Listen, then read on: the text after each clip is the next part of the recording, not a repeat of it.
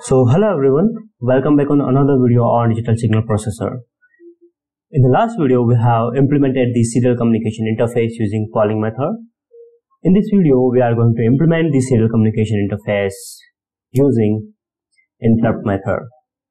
And the processor which we are using that is Launchpad 283790 and this code is implement this code is applicable to all the C2000 microcontrollers. The rest of the thing uh, will be remain the same other than GPIO configurations. So if you haven't subscribed my channel, please go and subscribe the channel for the latest update.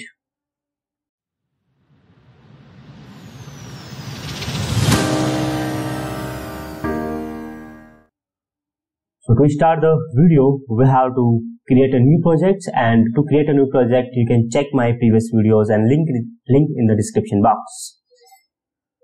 So we have added all the necessary files, we have included all the necessary files to the projects that is required to successfully completion of these projects.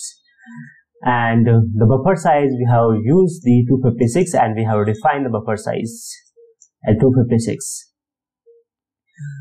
So for the serial communication interface, we have to initialize the GPIO, general purpose input output pin, and where the one pin will be as a transmitting and another pin will be for the receiving. Because the UART and serial communication interface is the two wire communications. So the first thing what we will do, we'll just initialize the GPIO pins that is UART pin configurations. And here you can see that uh,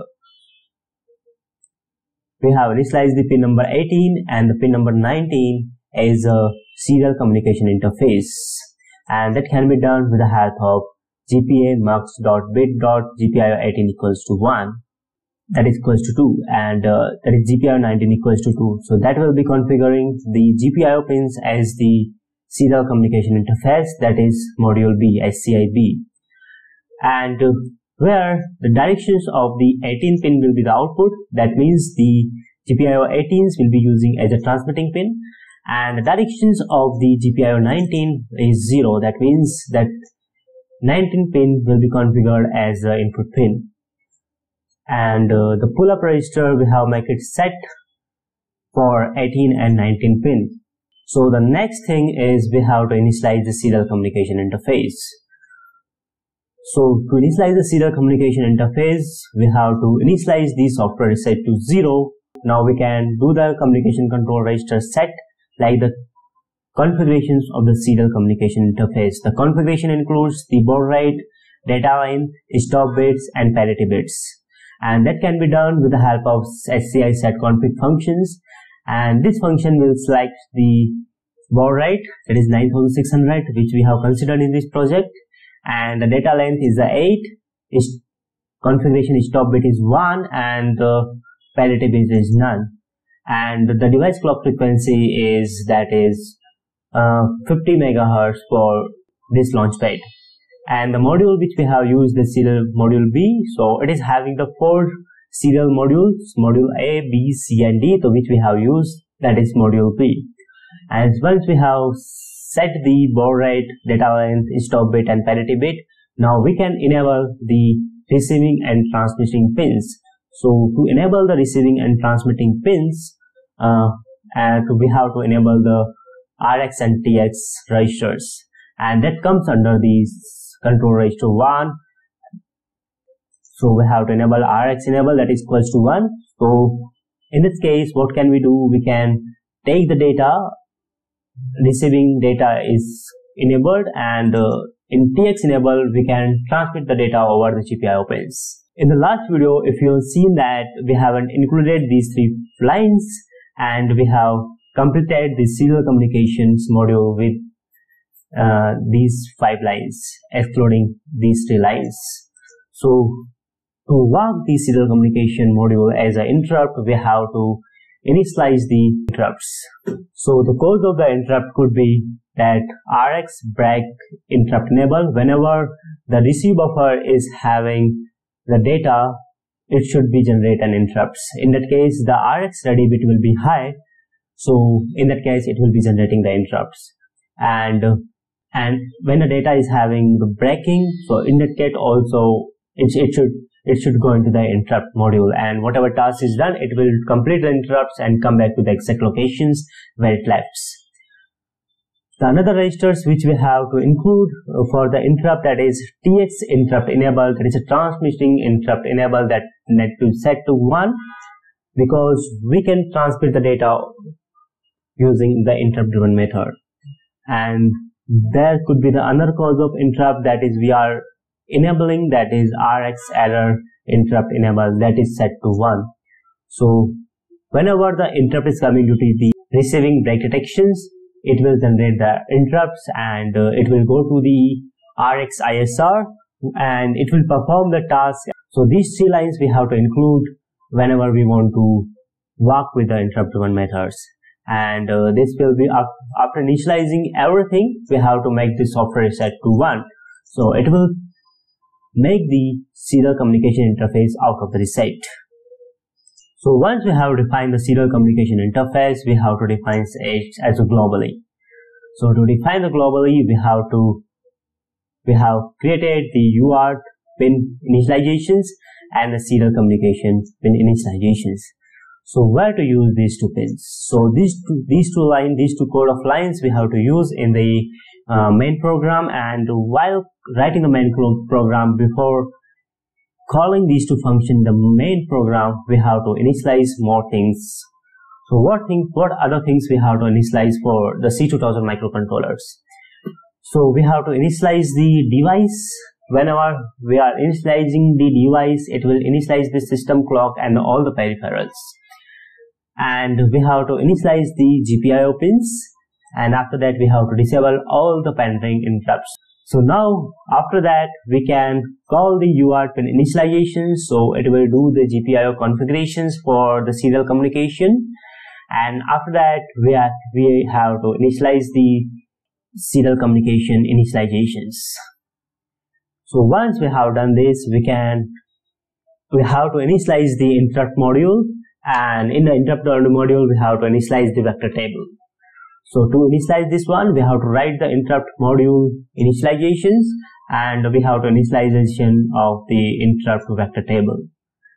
So in the interrupt vector table, after that we have to initialize the PIE control registers and the PIE vector table. So these three things, these things also we have to initialize when we are working with the interrupt mode, interrupt mode.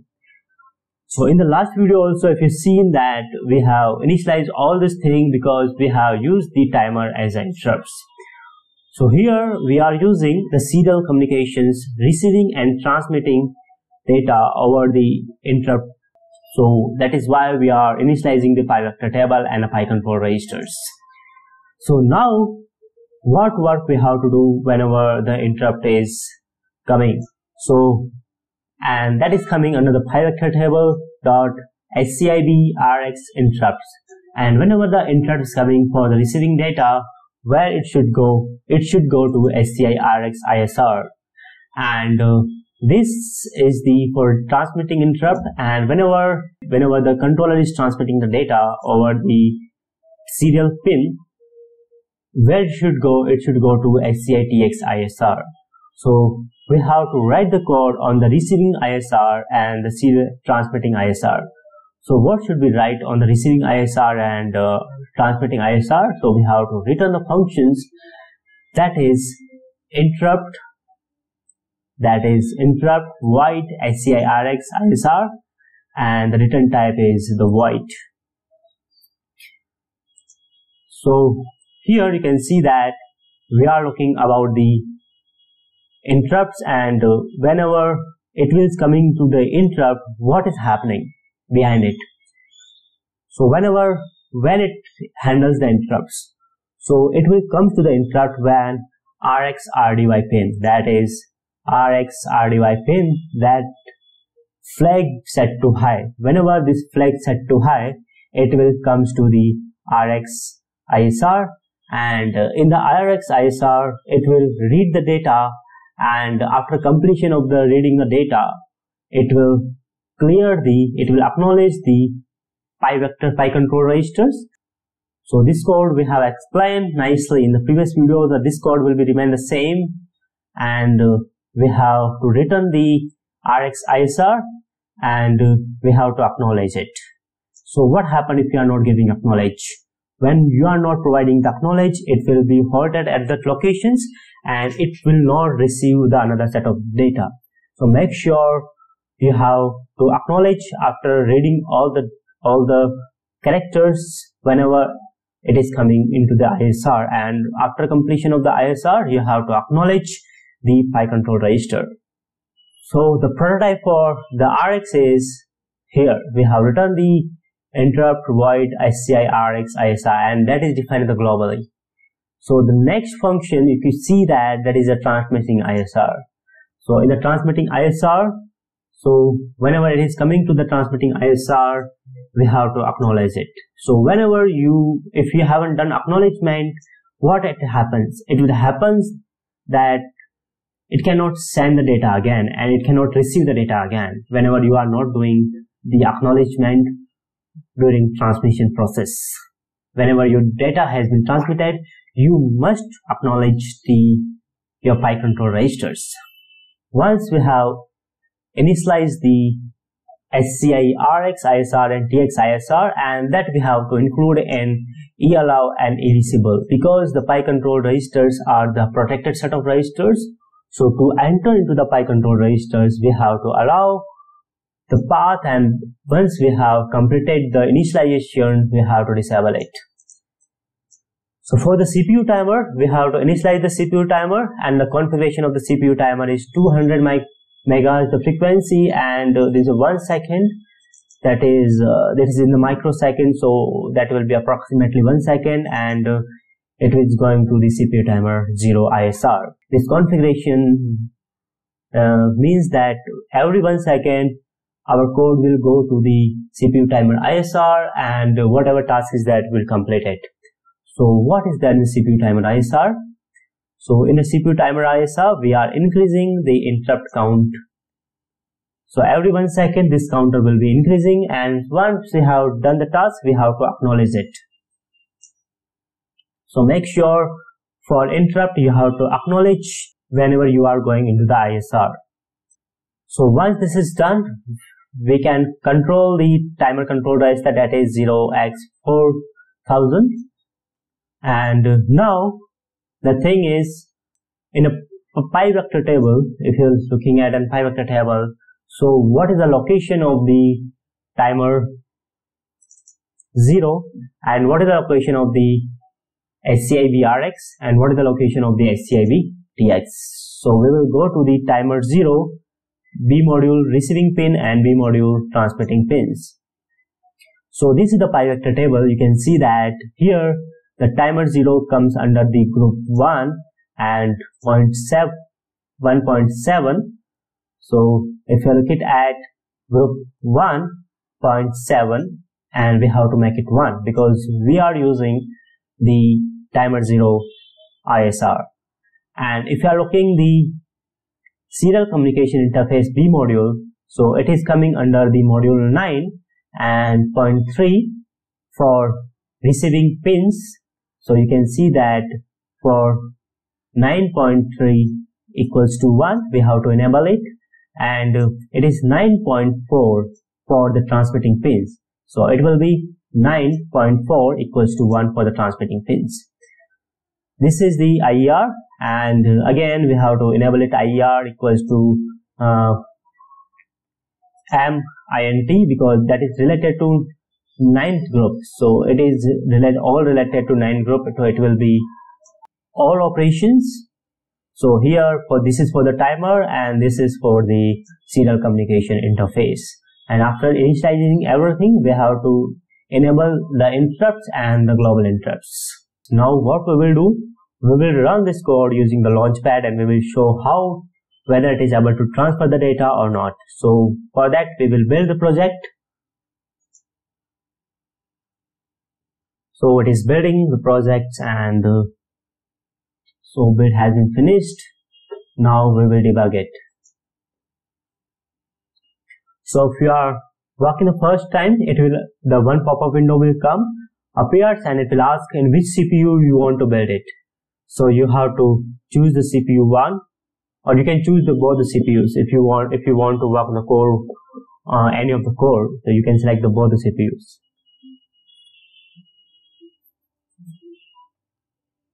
so if you want to learn how to configure this project for the CPU1 and the CPU2 you can check the video whose links is given in the description box. So this build is completed. Now we will resume it by pressing F8 or you can click on this button. So it will be running the project on the launchpad so we will open the terminal and we will scan it and we will connect it. So once we have connected it we will send the string that is please like share and subscribe. So it will sending the SCI URL spline and please like, share and subscribe. So the another string which you are sending that is thanks for watching the controllers. Knowledge. So sending the thanks for watching the controllers knowledge. So if you like this kind of the video please comment in the comment sections. And uh, don't forget to like share and subscribe the control knowledge. Thank you. Thank you very much